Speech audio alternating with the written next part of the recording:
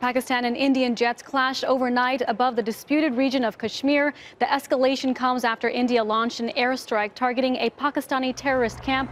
Foreign policy experts argue that the brewing conflict between the two nuclear armed nations is not an isolated event and could have ripple effects impacting U.S. interests. One being Afghanistan, where the U.S. still has troops on the ground, and second is India's ability to take a leading role in broader Asian affairs. Secretary of State Mike Pompeo urging caution, asking both countries countries to exercise restraint and avoid any escalation at any cost. And it comes right ahead of India's general election. Seema, does this uh, uh, shooting, uh, uh, these conflicts between the aircraft, uh, date back to a, an attack by a radical terrorist group on uh, Indian paramilitary officers, a suicide bombing a couple weeks ago. A suicide bombing took place just about two weeks ago in the disputed region of Kashmir that, that uh, resulted in 40 Indian soldiers being killed. And that's what really triggered this larger dispute that we're seeing take place between these two countries that have a long-standing, long-standing rivalry that dates back to 1942 when India claimed independence. Right, How could this change the, uh, the elections in terms of who may go out in front? Is there somebody who's a little bit more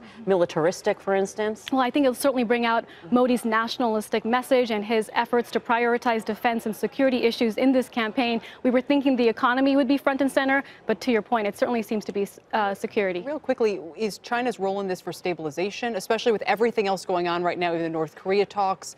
What do you think their interest is here? I think China absolutely wants uh, a stable situation because of their vested interest in Pakistan. They've been building out ports and dams across Pakistan. So, of course, both sides, whether it be the U.S., which has seen, sees uh, India as a strategic ally, and China, given its role in Pakistan, they both want to see stabilization. And when are the uh, Indian elections? India elections are over the course of six weeks. We're talking about 856 million people going to the polls. So it starts in April, ends in early May.